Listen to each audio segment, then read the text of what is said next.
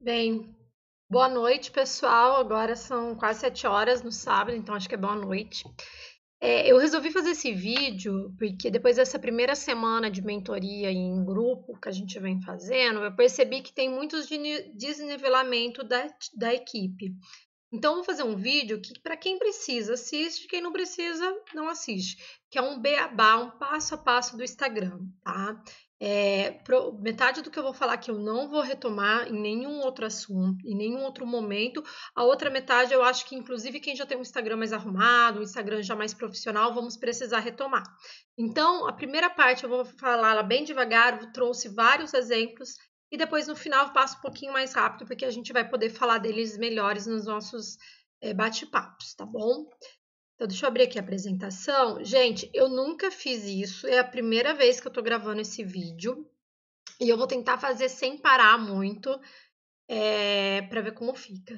Então, se às vezes eu ficar olhando meio torto, envesgar, me desculpem, mas é que de fato é a primeira vez, então tá sendo um teste para mim também. Então, o primeiro passo, gente, a gente tem que criar um Instagram. Falei disso é, já, né? Então, quem ainda não tem Instagram já cria. Já estou bem feliz que várias pessoas criaram e é muito fácil criar um Instagram.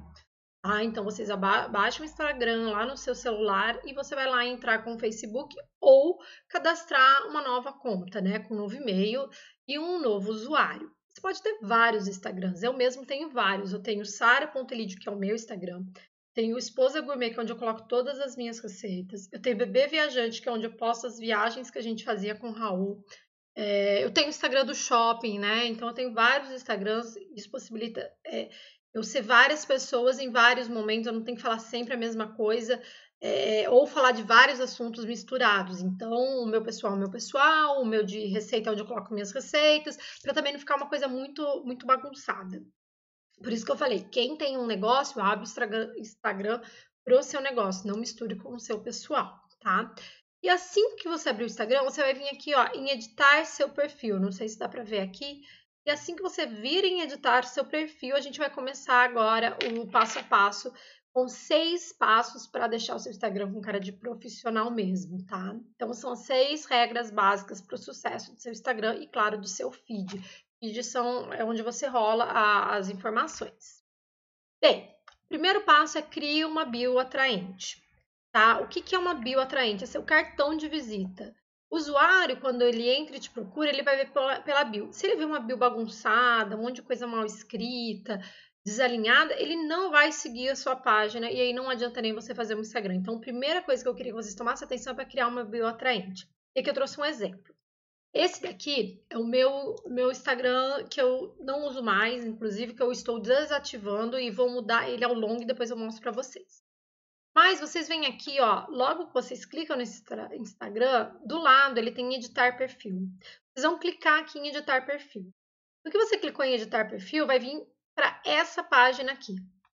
E aí eu trouxe um exemplo prático da minha tia que eu citei bastante no nosso encontro, que é da Delícias do Milho, tá? A primeira coisa que aparece é o nome. O nome é o nome que as pessoas vão te achar. Então, no caso da minha tia, ela colocou aqui, ó, Delícias do Milho. Esse é aquele nome que fica em negrito. E é legal isso, gente, que o nome, ele pode ser diferente do nome do seu Instagram mesmo, mas ele tem que ter sinergia com você. Por exemplo, a minha tia, ela deixou, o nome do Instagram dela é Delícias do Milho Cosmópolis, mas lá no nome mesmo ela coloca o Delícias do Milho apenas. Eu é, no meu Instagram, ele é sara.elidio. No entanto, no meu nome tá Sara Monique Elidio. Por quê? Na empresa que eu trabalho, me conhecem muito mais como Sara Monique. Em alguns lugares me conhecem como Sara Elidio, outros me conhecem como Sara Monique Elidio. Fica muito mais fácil encontrar vocês quando vocês têm até dois nomes diferentes. Por exemplo, ela não tinha o nome Delícias do Milho mais disponível. Já, já, alguém já usou Delícias do Milho, por isso que ela teve que colocar Delícias do Milho Cosmópolis. Se ela conseguisse usar delícias do milho lá em cima, embaixo ela podia colocar produtos do mais puro milho direto de Cosmópolis. Seria um dos exemplos. Tá? Então, a, vou dar um outro exemplo aqui de estética, que tem várias pessoas com vários nomes, né? A, a, clínica da Rita, né? Lá em cima ela vai colocar lá Rita, é, é, agora eu não lembro o nome, né? Mas estética. Embaixo ela não precisa escrever novamente o nome dela, Rita, estética. Ela pode escrever especializado em deixar você mais bonita. Isso chama atenção porque ele fica em negrito, dá para ver aqui? E é importante falar que só pode 30 caracteres, tá bom? Então, seja o nome que vocês forem criar aqui, só pode até 30 caracteres, 30 letras. Né? Outro exemplo aqui da minha outra tia que criou, ela fez Marisa Mares 2020. Aqui ela colocou o nome dela, Marisa Farelli. Ninguém conhece ela como Marisa Farelli. Então, ela vai trocar, né? A ideia é que ela troque isso por produtos da, de malha para você personalizados, não precisa para você, né? Mas é, é, malharia personalizada, camisetas, malhas e, e máscaras. Sempre pensa no produto, porque a pessoa vai olhar aquilo, ela quer saber o que ela vai ganhar seguindo aquela página, sobre o que aquela página fala. E aí a gente vem para a segunda coisa, né? O nome do usuário, que é isso que eu te falei, que o nome do usuário ele tem que ser um nome fácil de ser lembrado escrito. Então, ah, Delícias do Milho Cosmópolis, Espaço de Estética, Luísa Cabeleireiras, tudo isso tem que ser nomes fáceis. Aqui, infelizmente, já tem muita gente no Instagram e o Instagram ele não deixa desativar. Tanto que essa foto minha que eu coloquei aqui, ele tá, ela está desativada, porque você não consegue deletar uma, uma, um Instagram. Então, a dica que eu dou aqui é, se já tiver o seu nome, coloque a cidade. O caso aqui da minha tia, Delícias do Milho Cosmópolis. E não há delícias do milho 2, delícias do milho 3, porque começa a ficar ruim, você nunca sabe quem é o 2, o 3 ou o 4, e você já mostra que você não era o primeiro, tá? É, eu tenho um Instagram de viagem que chama Bebê Viajante. Só que já existe um bebê viajante, uma pessoa que não posta desde 2015. Mas o que, que eu fiz? Em vez de eu colocar bebê viajante 2, eu coloquei um underline bem sucinto. Hoje, se você digitar bebê viajante, o meu já é o primeiro que aparece, independente de ter um underline ou não. Mas eu não coloquei números. Vamos evitar números em cima. Outra coisa é aqui que a gente chama de CTA que, que é CTA? E é um termo em inglês que chama Call to Action, ou chamando para ação.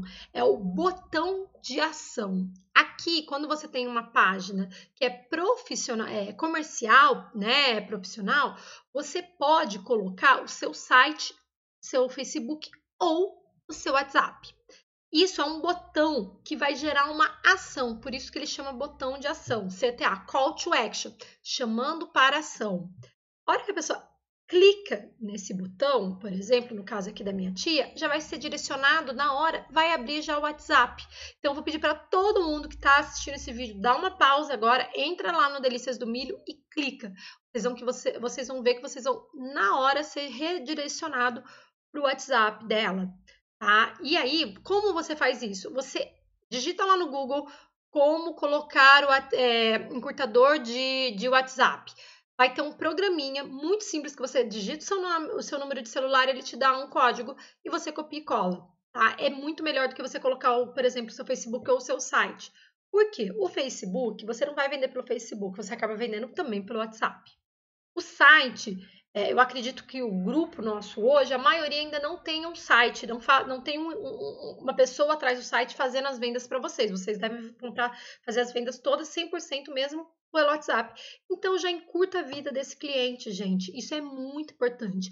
Quando demora para o cliente conseguir chegar até o, a vias de, né, até o lugar dele comprar, ele desiste da compra.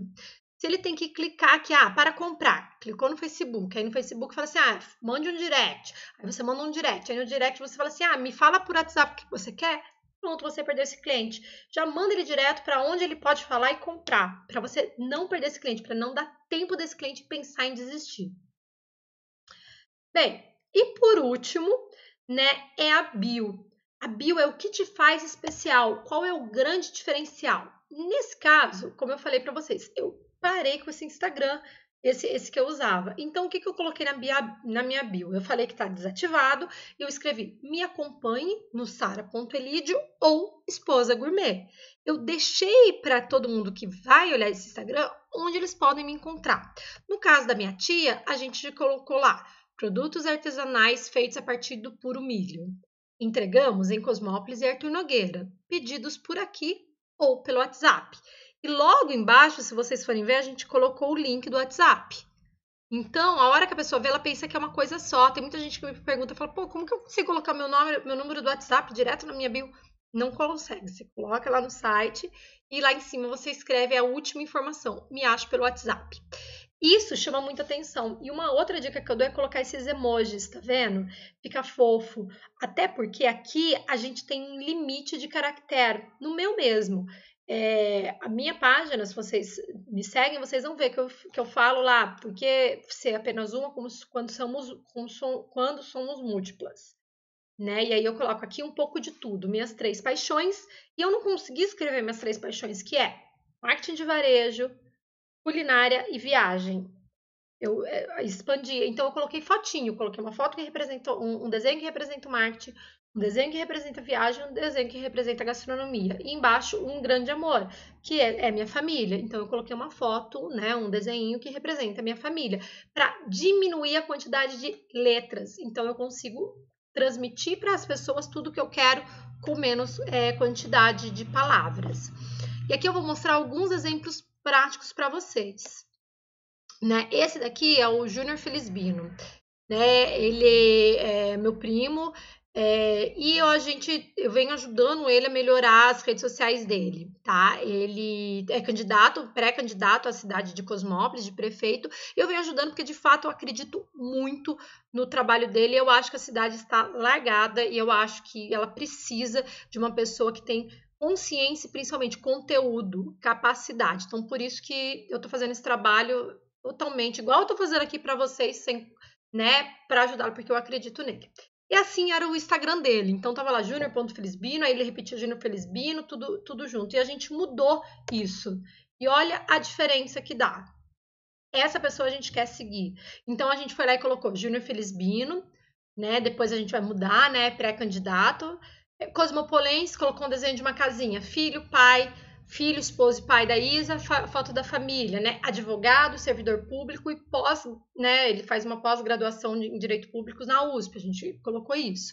E colocou uma hashtag para representar ele, então hashtag Cosmópolis. Então, é, tem gente aí que às vezes não tem que focar a Bia, se eu não me engano, né? A Bia dos, dos cosméticos, ela não precisa necessariamente é, só fazer em Cosmópolis. Então, ela pode pôr uma hashtag por uma pele mais bonita ou livre de animais, né? Algo que represente é, o produto dela em forma de hashtag, porque ela começa a criar autoridade nesse assunto. Um outro exemplo é do bebê viajante que eu comentei para vocês. Tudo numa linha só, um monte de coisas escritas. As pessoas não leem coisas em blocos, linhas grandes. Elas leem livro, mas elas não leem linhas, linhas grandes. Então, sempre quebra informação, tá? Sempre coloca a informação quebrada, igual a gente, né, como eu comentei aqui que eu fiz no, no Júnior, tá vendo? Tava uma linha gigante e a gente quebrou. O bebê viajante, a gente veio e fez a mesma coisa. Então, olha a diferença que tá hoje, que era e que está, né? E aqui no bebê viajante eu fiz o que eu falei para vocês. Então, em cima é o nome, né, bebê viajante, e embaixo eu repetia Raul bebê viajante. Não tem o porquê. Então eu já falei aqui o porquê que as pessoas elas vão ver o bebê viajante. Viagens com bebês e crianças. Então, quando a pessoa vai buscar viagens com bebês, elas têm mais chances de me achar do que escrever bebê viajante. Né? E aí que eu escrevi o porquê a gente existe. Inspiramos famílias para viajar sem medo. E as fotinhos que eu falei, então, viagens curtas, finais de semana e férias, viagens curtas com o carro, que já mostra que é viagens próximas, né? Férias a gente viaja para longe, então colocar um aviãozinho né? É, aqui eu coloquei um contato, porque é o meu contato, então se você quiser entrar em contato, falar, me acessa. E esse é muito legal, que é o botão de localização. Eu coloquei da onde a gente é. No caso aqui eu coloquei RMC, que é região metropolitana de Campinas.